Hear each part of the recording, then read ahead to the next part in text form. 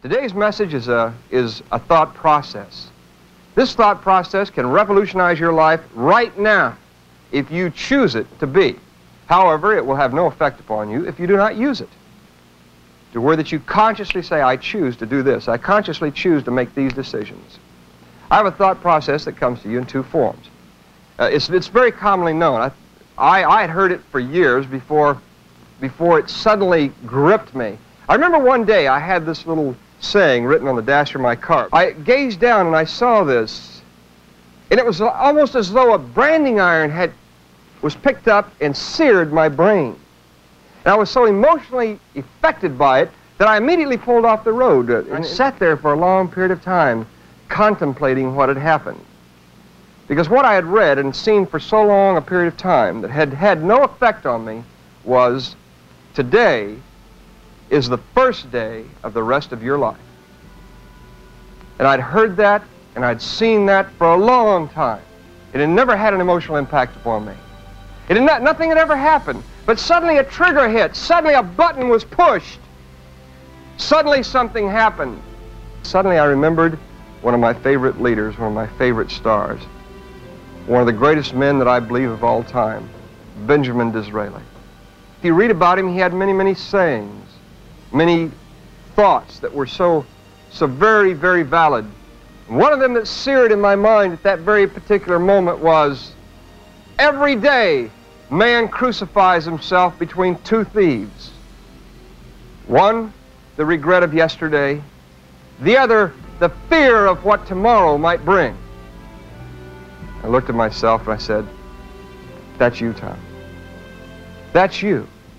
You live that way. You live that life. You're constantly regretting yesterday and fearing tomorrow. I felt that inside. I felt the regrets of yesterday. I felt the fears of tomorrow and what was going to happen tomorrow.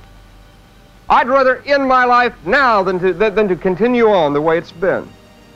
I regretted yesterday all the things that I'd done yesterday and I feared tomorrow.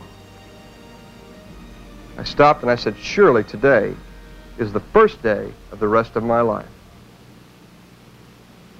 What I had to do was get in touch with my Creator. What I had to do was get in touch with my God. What I had to do was get in touch with me and resolve the past.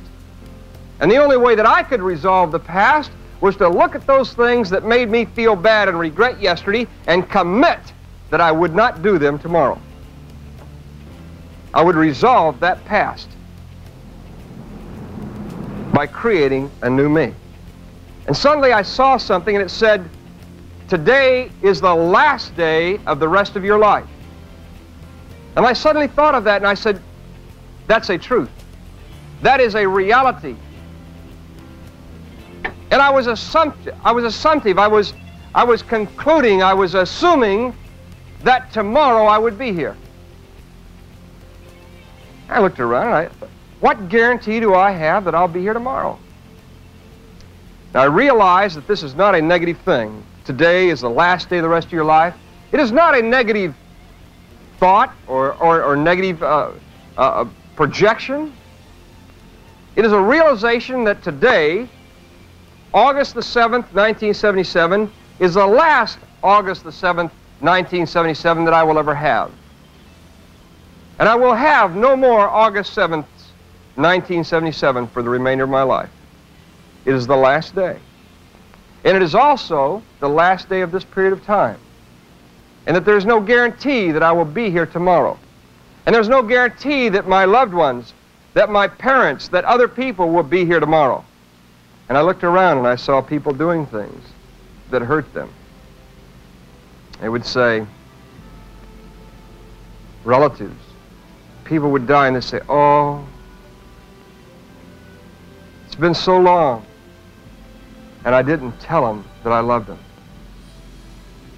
If I'd only told them that I loved them, if I'd only been open with my feelings with that person and shared how I felt about them in a positive way instead of always sharing the negative side of me, I could feel good today.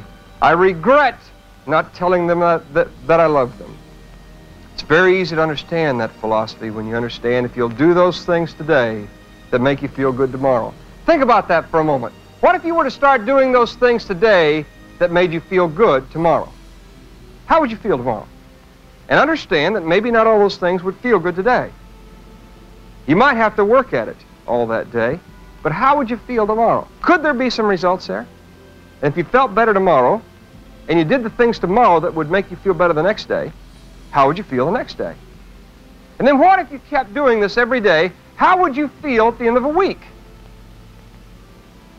Let's, uh, let's get really grandiose here. Let's really expand this out. What if you did everything every day for 30 days straight that would make you feel good tomorrow? How would you feel at the end of 30 days?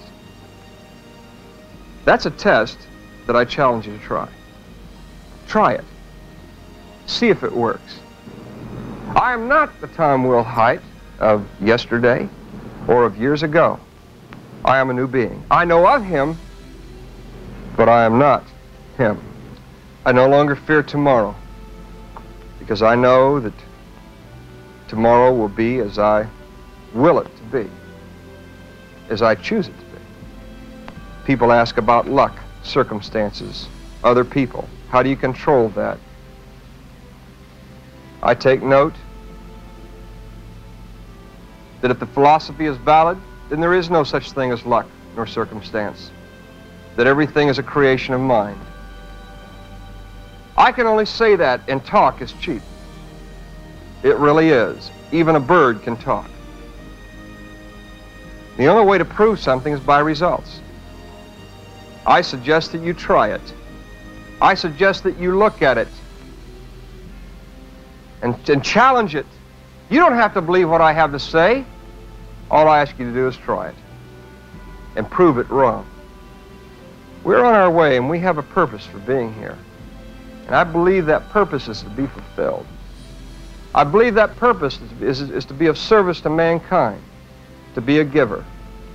And I believe that every purpose, every, every person here is here for a definite reason. And that is to be of service to mankind in some function, some, some capacity. And the more we work at being of more service to more people, the more fulfillment we will attain. The more we work at getting us together, being more natural, the more we will receive. I wonder how many of us have a goal, have a dream. I wonder how many of us have a clear, precise, concise vision of what we want to do with our life. I want to guarantee you, I want to assure you that if you'll get in touch with you and start dreaming book of Proverbs, it tells us that a people without a vision perish. And that is to say, a people that do not dream die. I challenge you to dream.